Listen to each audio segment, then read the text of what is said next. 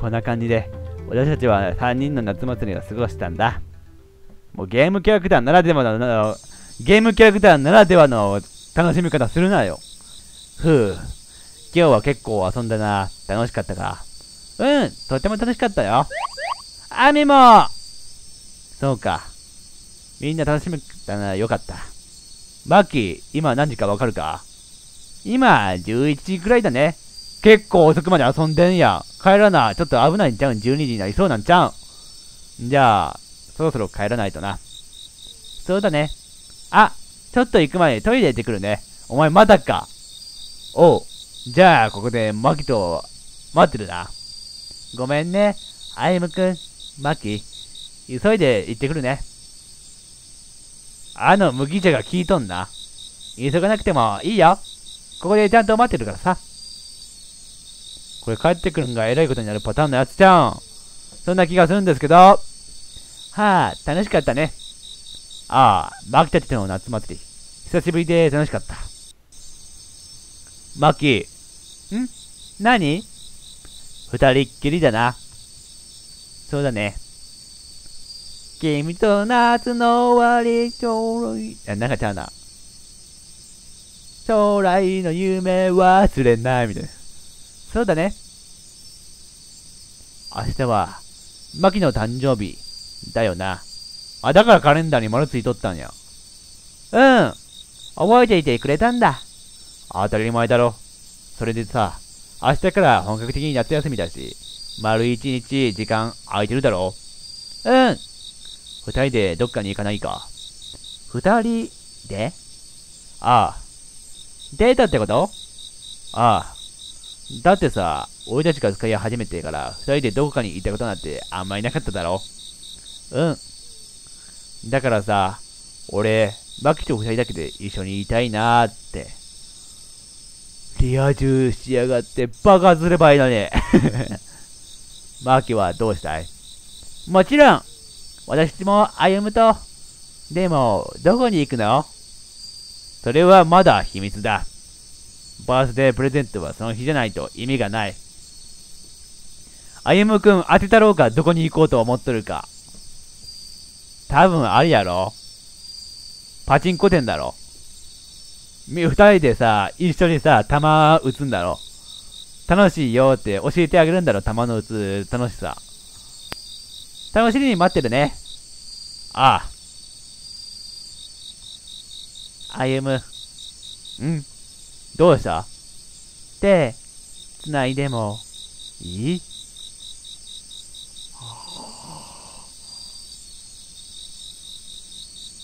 ああ。青春してるな。視聴者さんの目には毒だよ。視聴者さんに付き合っとる人一人もおらんって言うのに。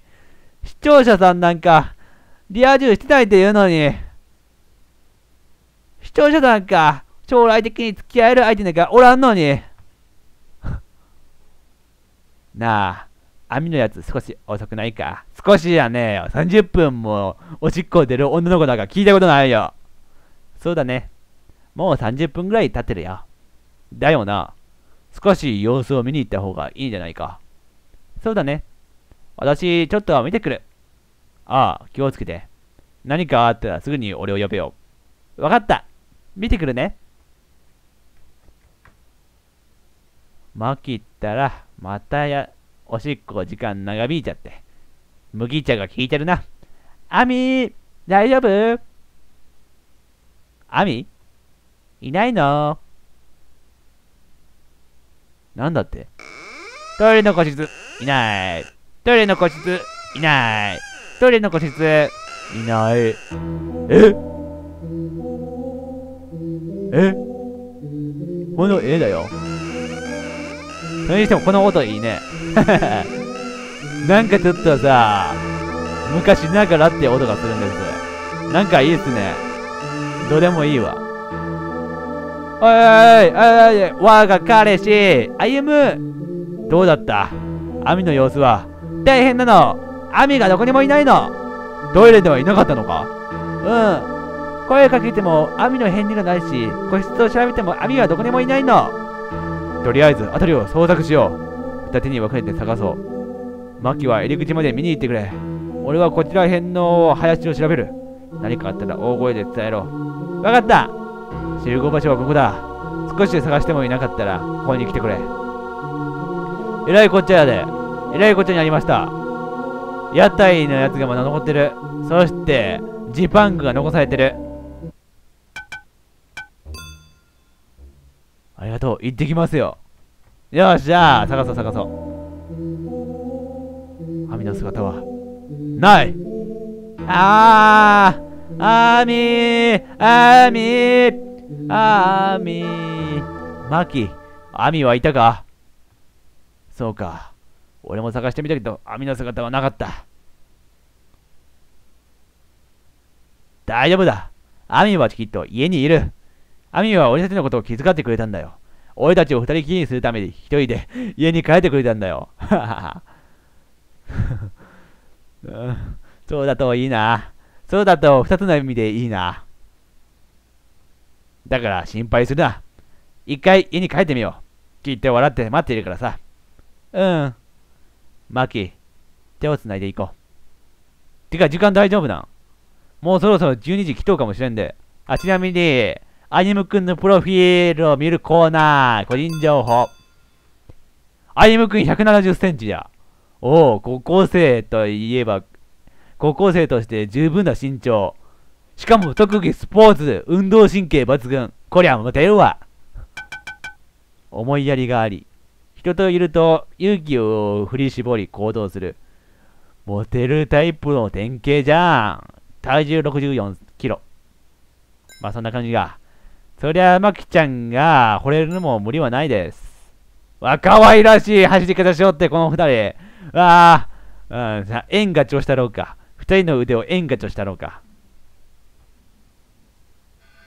え？え？ん？も戻ってきたよ。え？ちょっと、無限ワープされるパターンなんこれ。歩む。私たち今、鳥居をくぐったよね。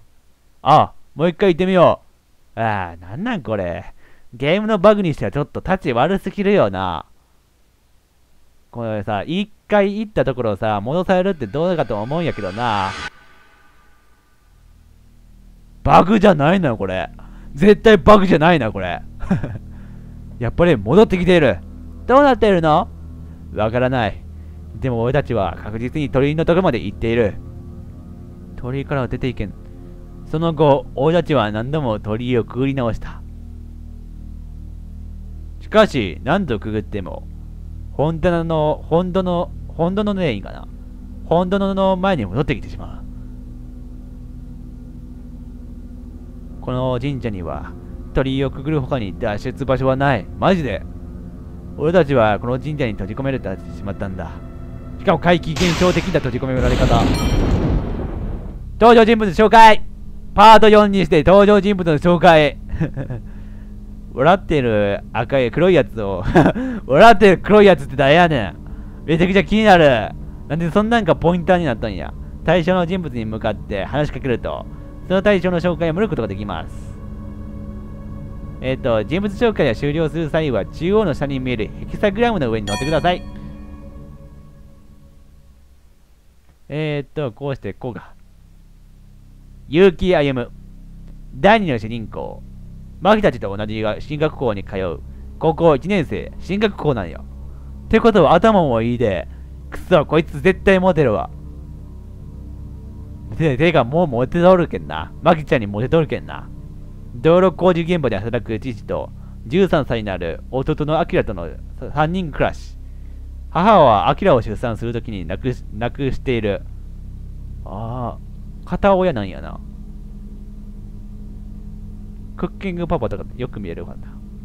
ビャッカマキ。ビャッカって読む、これ。めっちゃかっこいいよ、これ。第一の進行。家の近所では進学校に通う高1年生。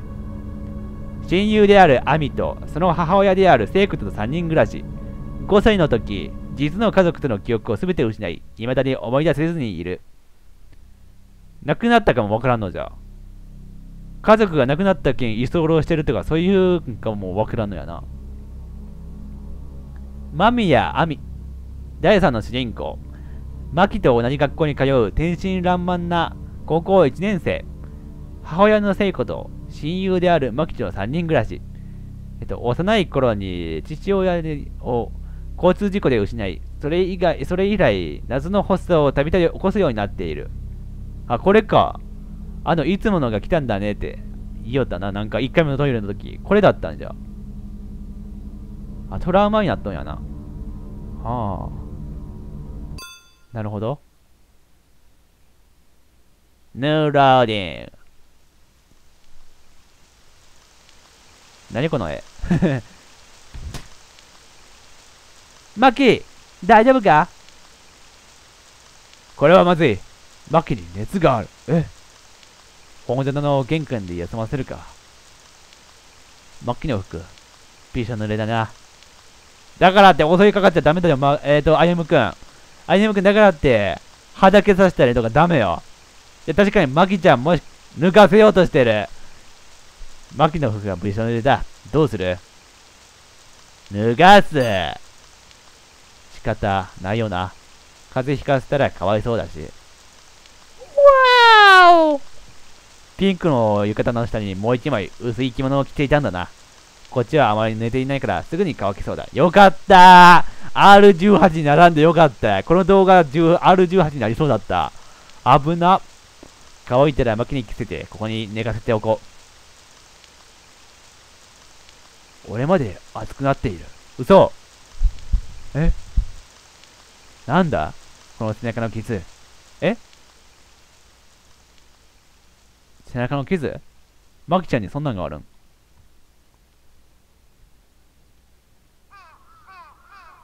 わ、下着姿になってる。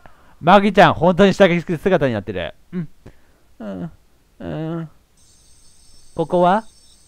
そうだ、お祭りの後、アミがトイレに行って、その後アミを探して。これを、アイムの？アイム、ありがとう。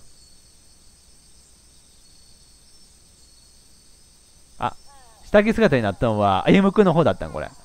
マギちゃんちゃんと浴衣着とるわ。よかったよかった。よし。じゃあ今回はここで終わりとさせていただきましょう。もうなんかさ、この展開に来るまでパート4かかってしまって、ちょっとね、なんじゃこれな感じになってます。位置情報が確かに確認できてないんやな。でも、いつでもセーブできる方が俺としてはありがたいんで、はい。まあ、というわけで、今回はこの辺でご視聴ありがとうございました。週明け。